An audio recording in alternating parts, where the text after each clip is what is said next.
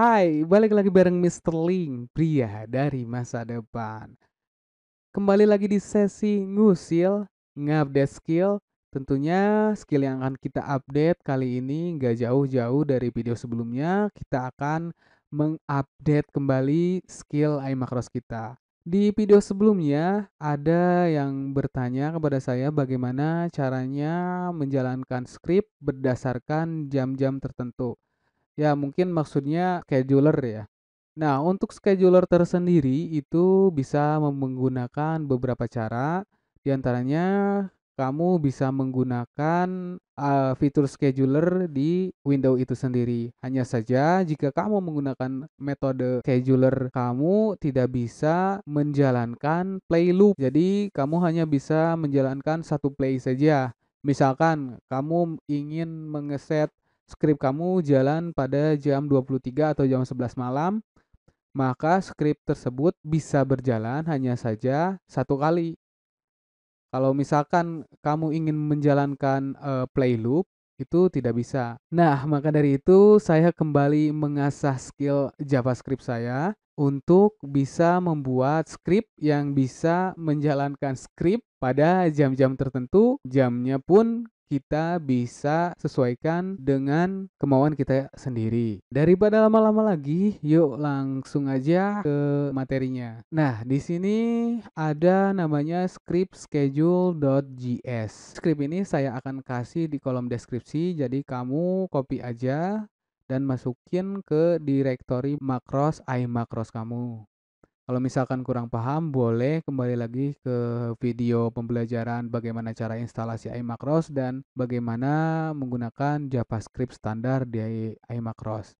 Link videonya saya akan kasih di kanan atas video ini, jadi silahkan dilihat aja dulu, dipelajari terlebih dahulu. Kalau misalkan kurang paham, boleh kasih komentar di videonya. Ya, kembali ke scheduler.js. Di sini kita buka aja edit makro. Saya akan coba jelaskan eh, secara mudah bagaimana pengguna, eh, penggunaan script ini atau logika script ini. Jadi pada dasarnya script ini akan menjalankan script pada jam-jam tertentu. Maksudnya menjalankan script iMacros. Di sini saya sudah coba akan saya jalankan itu play.im. Jadi si script ini akan menjalankan play.im. Nah, untuk waktunya sendiri kamu bisa setting pada saat ini. Kita langsung aja coba biar kamu mengerti. Nah, di sini kita jalankan aja scriptnya play ini untuk menyeting jam berapa kamu ingin menjalankan script play.im. Di sini saya akan coba jalankan di jam 10 malam lebih 44 supaya kelihatan script ini jalannya kayak gimana. Jadi kita masukin aja 22.2 44. Oke, play. Nah, di sini ada berapa kali yang akan dijalankan. Maksudnya ini ingin looping berapa kali si play.im yang akan kamu jalankan. Misalkan kamu ingin menjalankan 6 kali, maka kamu simpan aja di sini 7.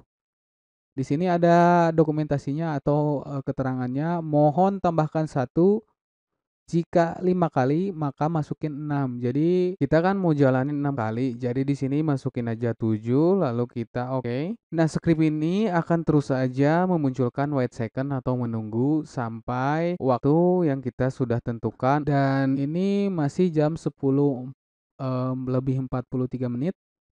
Jadi si scriptnya akan terus menunggu sampai dengan jam 10 lebih 44 menit. Setelah jam 10 lebih 44 menit atau jam yang sudah kita tentukan. Nah, langsung akan berjalan script yang akan kita yang kita panggil. Ini play ke satu, artinya ini kalau di looping ini looping pertama, ini looping kedua, looping ketiga ya, looping keempat, looping kelima, dan looping keenam. Nah, ada satu hal yang harus kamu perhatikan dalam penggunaan fungsi looping menggunakan script ini. Ya, langsung aja kita buka scriptnya, kita edit. Biasanya untuk menggunakan fungsi looping, pengetikannya seperti ini, e, kurung kurawal 2, lalu apa namanya tanda seru masukin di sini loop seperti ini kan. Nah, ini diganti jadi seperti ini. Nah, jadi kurung kurawal 2 loop num. Nah, seperti itu. Jika kamu menggunakan apa namanya eh, tanda seru loop seperti ini di script yang akan kamu jalankan, maka loopingnya tidak akan bekerja karena looping di JavaScript itu berbeda dengan looping di iMacros itu tersendiri. Jadi kesimpulannya jika kamu menggunakan script ini ganti aja fungsi looping yang biasanya tanda seru loop jadi loop num. Nggak usah pakai tanda seru penulisannya seperti ini. Jika kamu menggunakan script ini kamu nggak usah edit yang atas ini. Kamu cukup edit aja play.im ini dengan nama script yang akan kamu jalankan. Misalkan kalau kamu ingin menjalankan script test.im masukin aja di sini tes.im. Kalau kamu akan menjalankan atau punya script namanya Facebook Liker, kamu masukin aja di sini, eh, sesuaikan saja di sini Facebook Liker. Mungkin segitu dulu aja untuk video kali ini. Saya harap videonya bisa bermanfaat dan sampai jumpa di video selanjutnya. Adios.